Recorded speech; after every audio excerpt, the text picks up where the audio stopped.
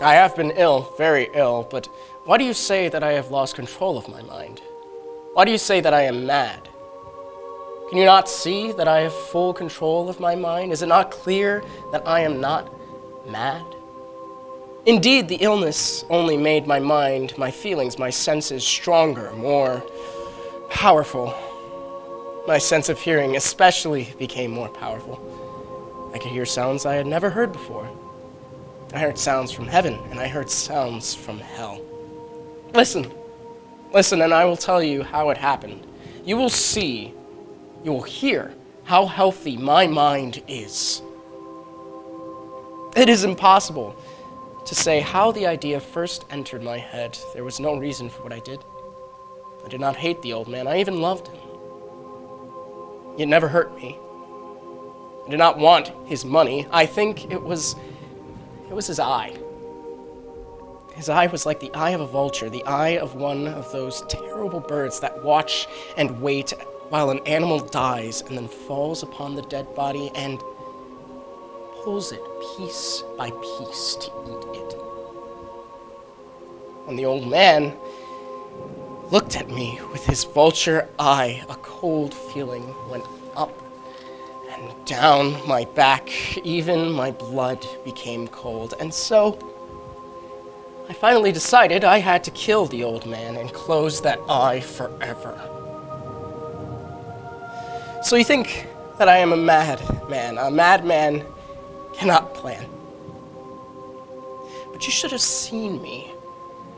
During all of that week, I was as friendly to the old man as I could be, and warm and. Every night, about 12 o'clock, I slowly opened his door. And when the door was open wide enough, I put my hand in and I put my head. In my hand, I held a light covered over with a cloth so that no light showed, and I stood there quietly. Then, carefully, I lifted the cloth just a little so that a single thin, small light fell across that eye, that, that eye. For seven nights I did this. Seven long, long nights, every night at midnight. Always the eye was closed, so it was impossible for me to do the work. For it was not the old man I felt I had to kill, it was the eye, his evil, his, his evil eye.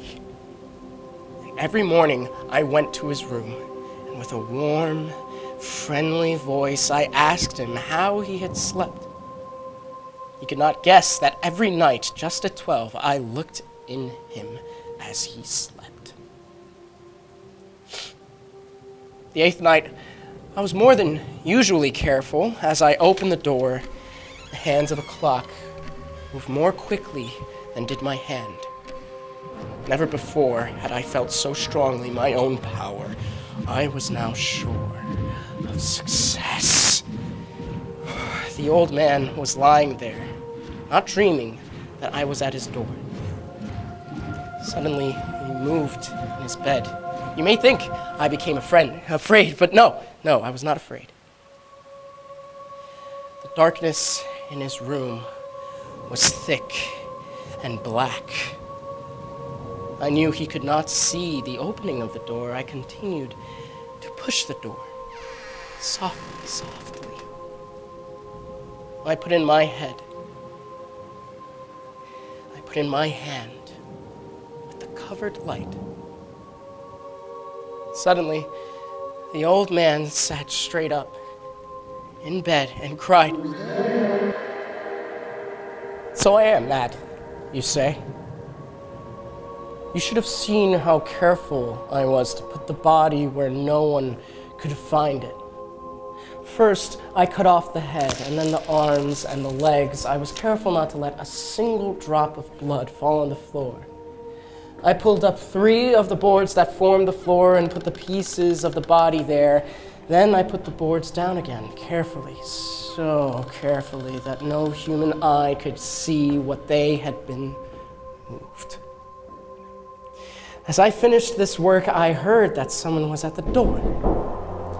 It was four o'clock in the morning, but still dark. I had no fear, however, as I went down to open the door. Three men were at the door, three officers of the police. One of the neighbors had heard the old man's cry and, and called the police. These three had come to ask questions and to search the house. I asked the policeman to come in. The cry, I said, was my own, in, in a dream. The old man, I said, was away. He had gone to visit a friend in the country. I, I took them through the whole house, telling them to search it all, to search well. I led them finally into the old man's bedroom. As if playing a game with them, I asked them to sit down and, and talk for a while. My easy, quiet manner made the policemen believe my story, so they sat talking with me in a friendly way. But although I answered them in the same way, I soon wished that they would go. My head hurt. There was a, there was a strange sound in my ears. I talked more and faster, and the sound became clearer, and they still sat and talked Suddenly, I knew that the sound was not in my ears, it was just inside my head. At that moment, I must have become quite white. I talked still faster and louder, and the sound too became louder. It was quick, low, soft sound, like the sound of a clock heard through a wall. A sound I knew well, louder. It became and louder. Why did the men not go louder? Louder. I stood up and I walked quickly around the room. I wasn't nervous. I wasn't nervous at all. I pushed my chair across the room to make more noise, to cover that terrible sound. I talked even louder and louder, and still the men sat and talked and smiled. Was it possible that they could not hear? No, no, they heard. I was certain of it. They knew. Now it was they who were playing a game on me. Was suffering more than I could bear from their smiles and from that sound louder, louder, louder. Yes, yes, yes. Oh, they, their smiles and from that sound. Suddenly, I could hear it no longer.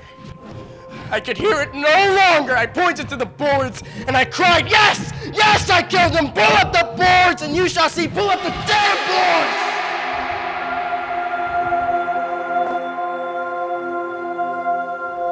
I killed him. But why could his heart not stop beating?